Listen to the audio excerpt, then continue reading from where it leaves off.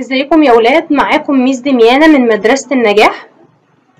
وهنشرح النهاردة درس جميل خالص بيتكلم عن التربة.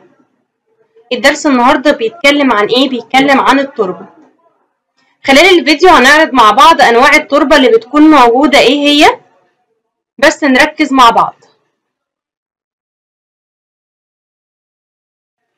قبل ما نعرف انواع التربة اللي بتكون موجودة نعرف في الأول يعني إيه تربة.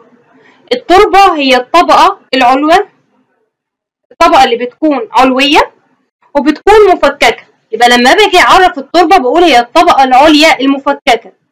وبتكون بتغطي معظم القشرة الأرضية وبينمو فيها النباتات. يبقى لما أجي أعرف التربة هقول هي الطبقة العليا السطحية الرقيقة اللي بتغطي معظم القشرة الأرضية وبتنمو فيها النباتات. طب هي التربة ليها أهمية؟ طبعا. إيه هي اهمية التربة؟ اول حاجة بتمد النبات والحيوان والانسان بالغذاء. طب إزاي بتمد الانسان بالغذاء؟ أنا لما بزرع البذور في قلب الأرض بتبدأ تكبر بتطلع الثمرة وبتطلع الخضار وبتطلع الفاكهة. أنا باكل الحاجات ديت فانا كده ابقى استفدت. طيب الحيوان بيستفيد من التربة؟ طبعا. بيستفيد من التربة إيه؟ أنا بحط البذرة وبتبدأ الشجرة تطلع النبات يطلع.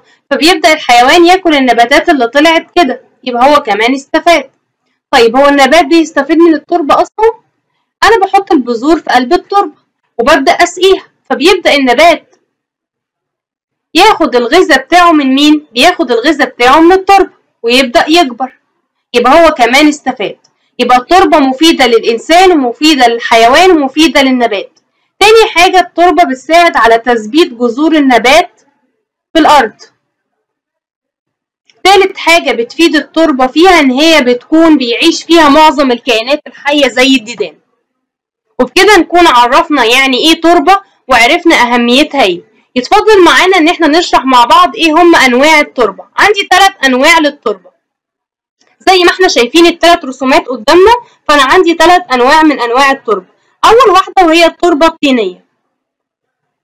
زي ما إحنا شايفين كده في الصورة. تاني حاجة وهي التربة الصفراء. وتالت حاجة هي التربة الرملية. يبقى أنا عندي كام نوع؟ عندي تلاتة. عندي التربة الطينية وعندي التربة الصفراء وعندي التربة الرملية. خلال الفيديو هنعرض كل خاصية كل كل تربة الخصائص اللي بتكون موجودة فيها إيه. نركز مع بعض. أول تربة عندنا وهي التربة الطينية زي ما إحنا شايفين في الرسمة. التربة الطينية بتتميز بإن هي بيكون فيها الحبيبات صغيرة ومتماسكة. تاني حاجة بتميز التربة الطينية إن هي بيكون فيها طين وطمي والدبال فيها بيكون قليل.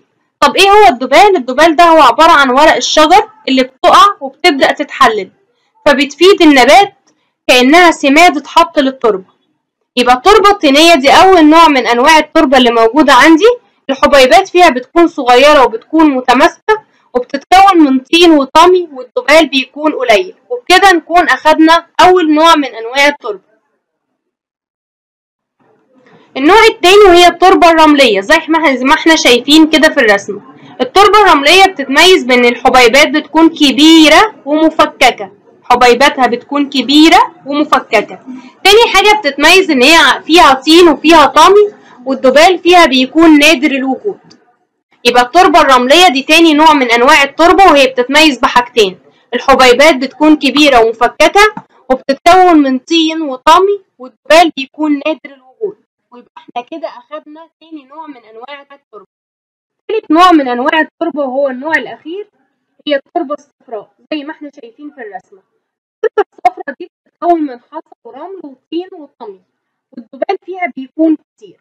يبقى التربة الصفراء الدبال فيها بيكون كتير. يبقى إحنا كده وصلنا لنهاية الفيديو وأخدنا مع بعض أنواع التربة وعرفت في الفيديو إن إحنا عندنا ثلاث أنواع من أنواع التربة.